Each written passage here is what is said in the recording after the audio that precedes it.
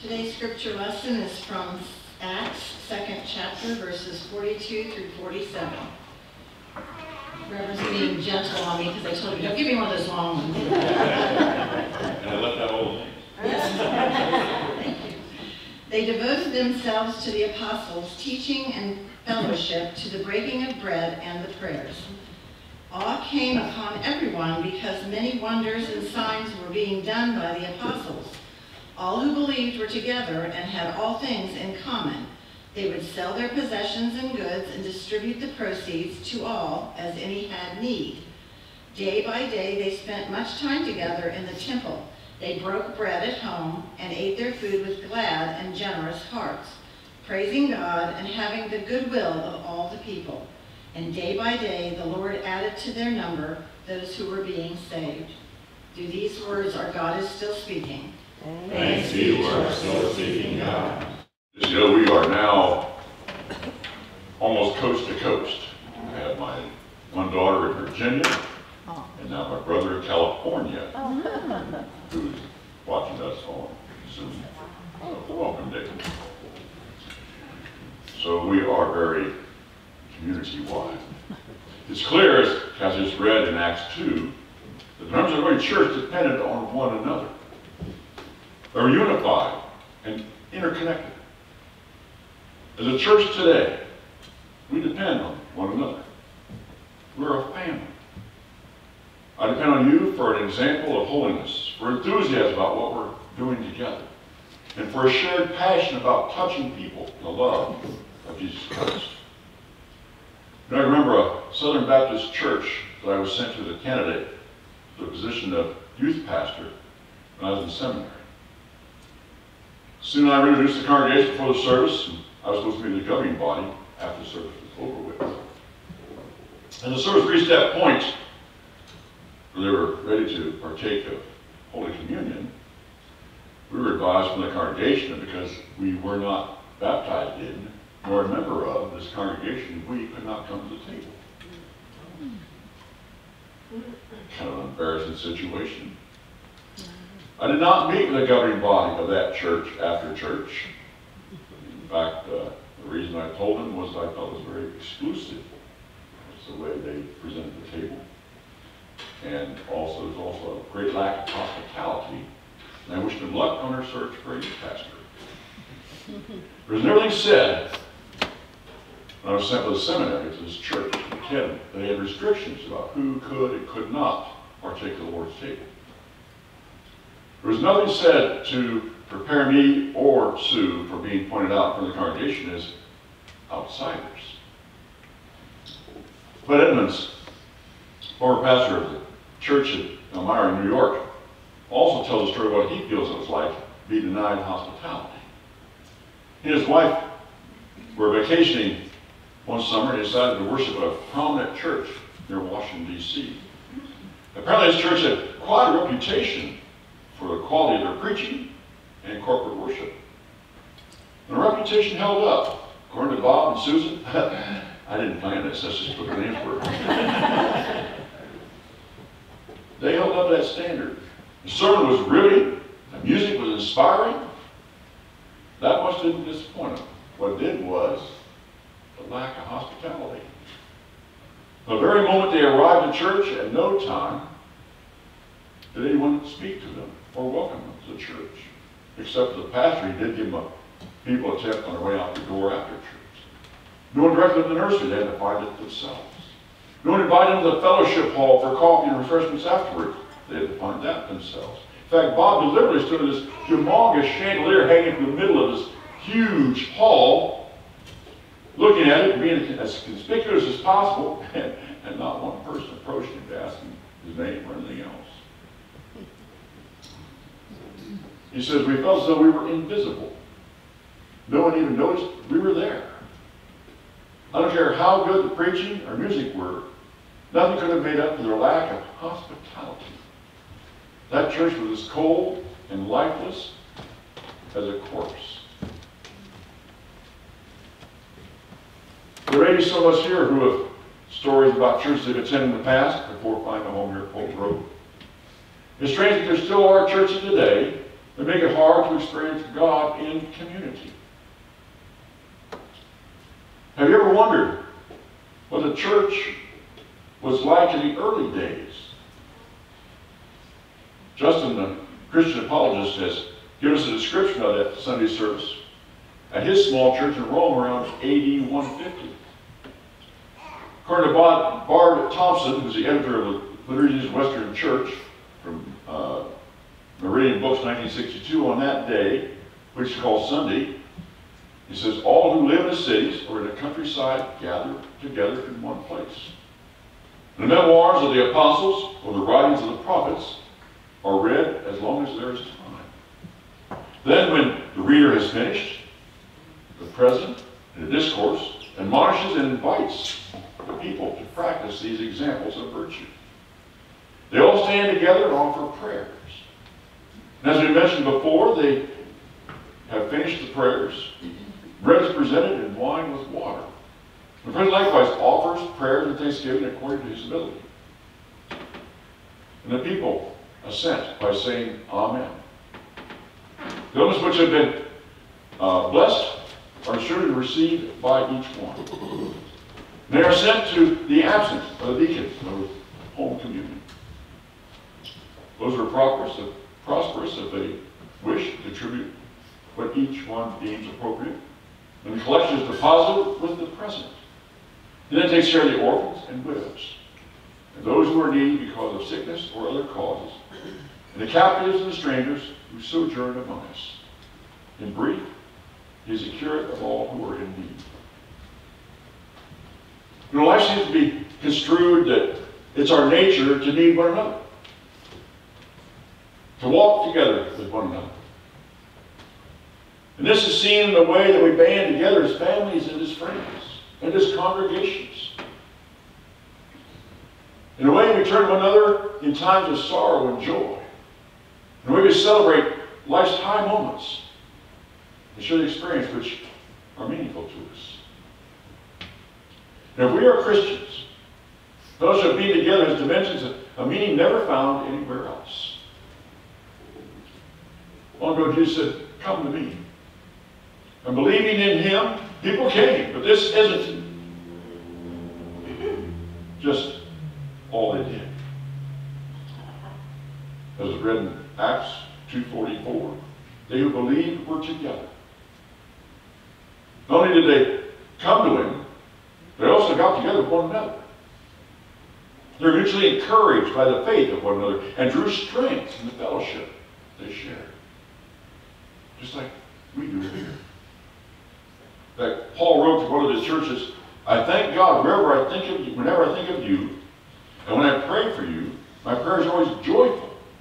Because of your good fellowship in the gospel of Christ from the first day until now. My dear friends, if we are all sincere about this business of Christian living, there's no way to describe the values that there are for us in being together, in fellowship, in shared experience, in the adoration of worship God. Just a description is one of an intimate and joyful act of thanksgiving.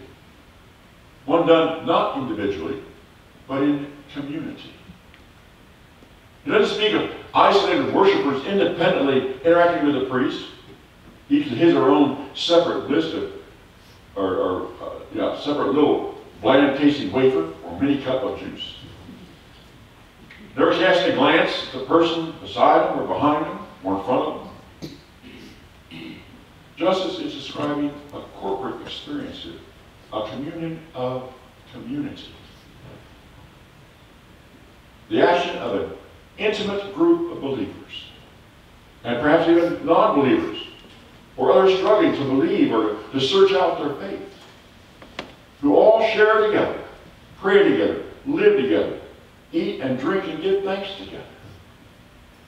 Because right back to Susan, you know, when the prayer circle after church, that's what they did. They're active, not passive, in their ministry as a body of Christ. They have a sense of who they are together as a family of God. You know, generally we speak of a great church. We do that, we mean a, a church that has great set of facilities, where it has an eloquent preacher, where it has an exceptional music program, or finally perfected organizational life. A church, however, can be great without having any of these things. Oh, we missed the music. Very else. Oh, we missed the preacher. Any church can be a great church. It has the qualities and characteristics which were found in the church described in Acts 2. William Willimon, in Worship and Past, as Pastoral Care, printed by Advent Press in 1979, makes some sharp observations. As you've heard it said, the family that prays together stays together. I say to you, the family that eats together stays together. Could a contemporary breakdown of many of our families be attributed to our families so rarely eating together? Little wonder that love and unity are difficult for us.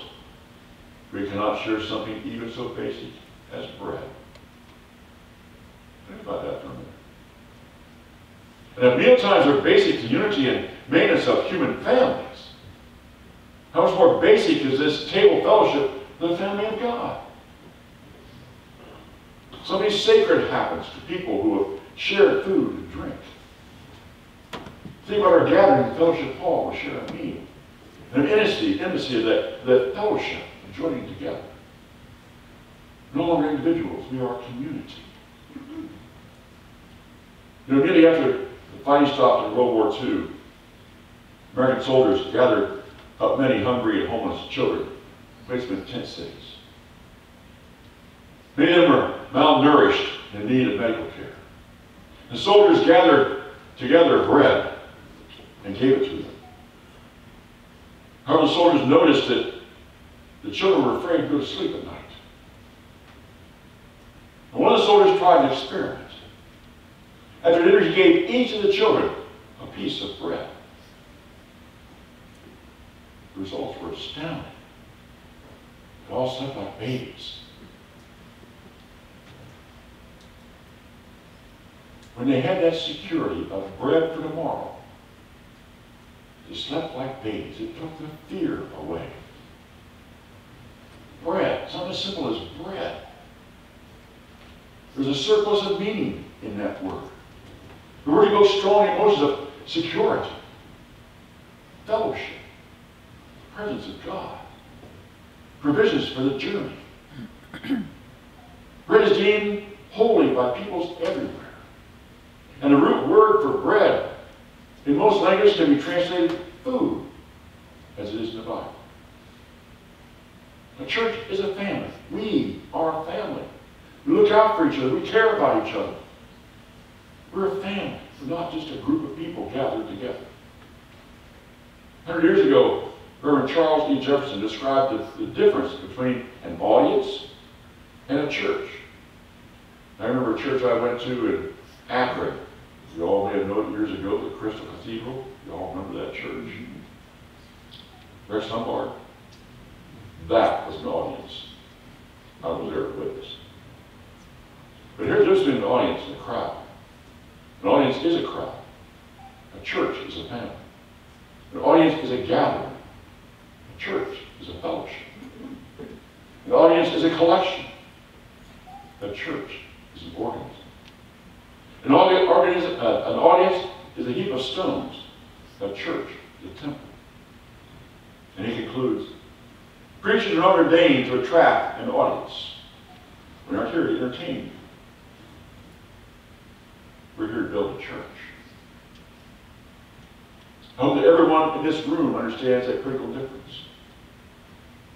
If a business, nonprofit organization, or political party is torn with dissension, it's a shame. We see that right now. But when the Church of Jesus Christ is in turmoil, it's a tragedy. Because Christ depends on us and our unity. Recognize other believers as brothers and sisters in the family of God. The Christians in Jerusalem shared all they had. so that all can benefit from God's gifts. It's tempting sometimes, especially if we have material wealth, to cut ourselves off from one another. Each taking care of his or her own interests. Each providing for, for joy and, and for enjoyment of his or own little piece of the world. It is a part of God's spiritual family. It's our responsibility to help one another in every way possible. God's family works best when its members work together. I hear an amen on that. I didn't hear that. Amen. Thank you. Reverend James Merritt shared a story he heard about a five-year-old boy who fell out of bed. His cries awakened the entire household. After his mother had safely tucked him back in the bed under the covers, she says, why did you fall out of bed? Between the tears and sobs, he said, well, I guess I went to sleep too close to where I got in. Far too many Christians make that same mistake. They fall out of bed of life and go to heaven. Did they slept too close to where they got in. They never learned the difference between union and communion. He said in John 15, 5, I'm the vine and you are the branches. When you trust Christ, you become a branch in his vine. That is union. But he goes on to say in verse 5, He who abides in me, and I in him, bears much fruit. Now that is communion. Union is the basis of communion. To abide in Christ is a 24-hour a day, 7-day a week, 52 week a year, intimate fellowship with him. That you become a fruit-bearing branch. John Sumwalt, later when the INNS shelter program, the homeless started in uh, Kenosha, he signed up for a training program to be a volunteer.